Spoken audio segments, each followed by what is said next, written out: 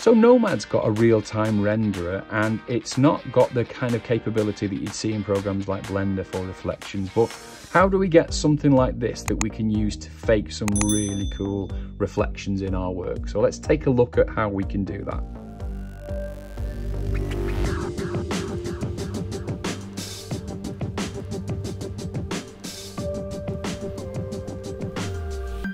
So before we look at a more complex scene, let's do what we normally do and just take a look at a very basic scene. So I've got a plane and I've got a sphere. So let's duplicate the sphere. So we've got two in the scene. Go back to the first one and we're going to make this reflective. So we'll come down here and we'll go with our, we'll make sure it's fully white first of all and we'll take the roughness all the way down and the metalness all the way up and then force paint all. So we've now got a fully, what we would think is a reflective um, sphere or a material on a sphere. But unfortunately, it's not picking up this other sphere at all. As you can see, there's no reflection in it whatsoever. So what's the reflection that I'm seeing? And obviously with three fingers I can roll around you can see that we can ro rotate around. So something's happening there. So that's a HDRI and that comes from here. So if you look under shading there are a set of high dynamic range images that are brought in. These are actually from HDRI HDRI Haven. So they're available to you outside of Nomad if you want to go and download some more. Um, and what they do is as you change them they're the thing uh, that surrounds this entire scene that gives you uh, a reflection in any surface that's set to reflection. But it's not reflecting within the scene at all. It's just giving you a fake reflection from the environment around it. And that's how the scene is being lit as well. There's no lights in this scene whatsoever other than the lights that are in that image. So that's how this works in any other program. Now, we're not, you know, if you want to go to a higher level um, of uh, reflection and rendering, then you need to move to something that, that's got a much more capable renderer. So think of something like Blender or Cinema 4D or Maya, and lots of render engines like um, something like Arnold or, or Redshift is, is one that I prefer. But we're not, we don't have that luxury in Nomad. So what we have got is this, but we can, with real-time rendering, we can add a little bit more reflection. So what you can do is you can come up here to post-process, switch post-process on, and I've already got it switched on there so you can see straight away what happened there. So if you if you want to know where it is it's there. Make sure you've got max samples and full resolution on as well and also switch on ambient occlusion because that's giving you the occluded areas. That means areas that are covered so the dark areas get darker. And as you can see if I roll around now you can actually see this sphere in here. It's not brilliant. There are some you know there's some sort of like clipping effect and it and it does um, it, it, does cause some visual issues. But for us as um, artists that want to use a basic reflection in our work, then this can be really useful. So you can, you know, as you move it closer, you can see it pretty much reflects in that scene. And also the ambient occlusion underneath links that sphere to the real world.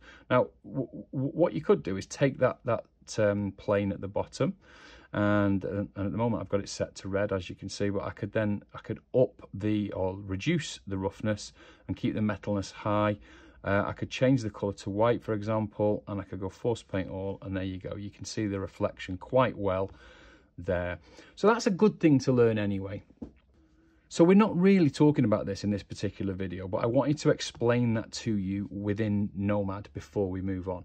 So let's move over to a much more complex scene and have a look at how we can improve our reflections in, in a fake way.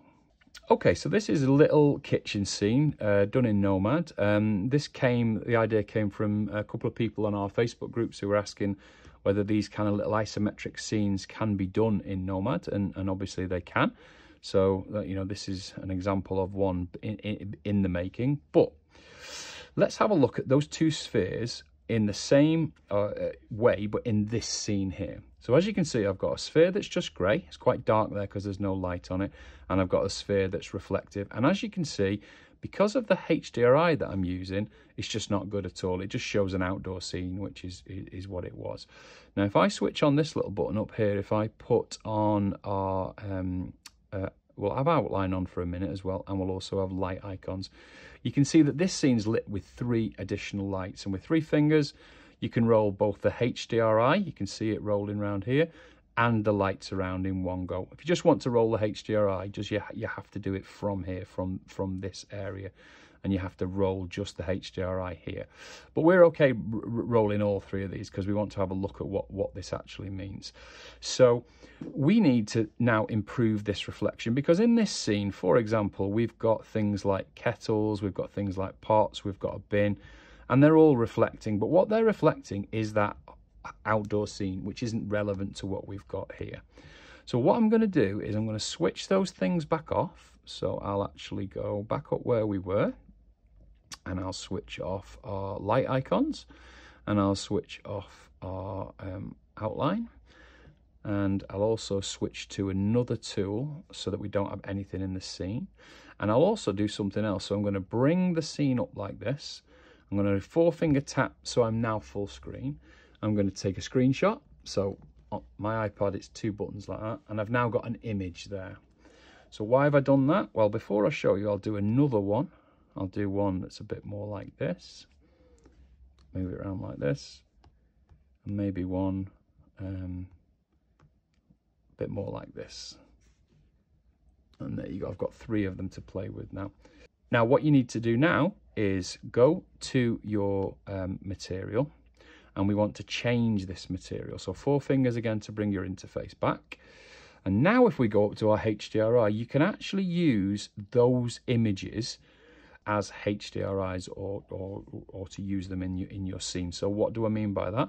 So in here, I've already brought some in that are exactly the same thing. If you want to bring the ones in we've just brought in, so you just go plus from photos, and you can just bring in one of those like so add it and you've added another one there now now I'll use this one because I've darkened this a little bit but what that's actually done straight away is it's given me the image that I grabbed so the screenshot and it's applied it as an overall um, sphere now it's not accurate 100% because obviously that was a straightforward, um, you know, a, a, a, kind of four by three kind of image. So you could go and amend that and you could change it however you want, but look at what it does for the reflection straight away. So it's brought the colors in from, from the scene. So if you look at the bin, it looks better straight away because it's reflecting what, we, what we've got in the scene already. And also you'll find that any other metal or any other reflective thing in the scene is a lot more accurate.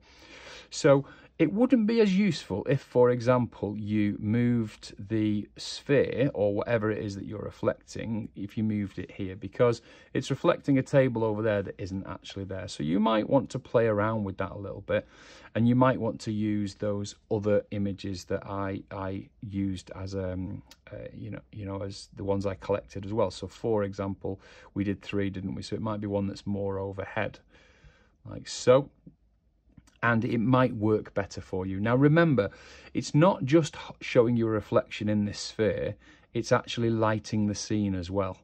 So as well as those three lights that we had in there, you're actually getting lighting uh, information from that image. So if it's very, very bright, you're going to get a very, very bright scene. So try and play with it a little bit. So bring the brightness down, maybe make it brighter in certain areas. So as you can see there, that's a bit too bright for what I want. So I'd go back to one of my other ones. And if the primary um, thing in this scene were these spheres here, then this would work really well. Now, don't forget, you can also switch on your, you've got your, your reflection to switch on and off. So if you find that that's too distracting, you can turn it off. It's not particularly picking up this sphere very well, as you can see.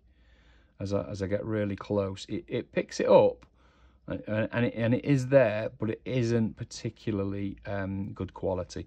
So you've got to, you know, if you think of this as more as a as a use rather than getting really high end renders, this is more about making a scene work for you as a as a as an artist. So a lot of the time we'd want to take this out as a 2D. Um, so getting the reflection just to look good for for the shot that we're doing is is how we would use this. But that's how I uh, fake the reflection. Um, the the lighting you can play with a lot. Don't forget you've got the ability to, let me put the lighting icons back on. You can play with these a lot now. So these would be your dominant lighting source now instead of your HDRI. So what you could in fact do is come in here and turn the exposure of your HDRI right down and let the lights do the work. But either way, the reflection in that um, sphere is a lot more accurate when you're taking it from another image that you've created yourself. I hope you're enjoying these videos and if you are, please give us a thumbs up as it does help us to get in front of other artists that might like this kind of work. And if you're enjoying it enough to give it a thumbs up, then why not subscribe and then we can send you a little notification when we upload new video content. Have a great week, everyone.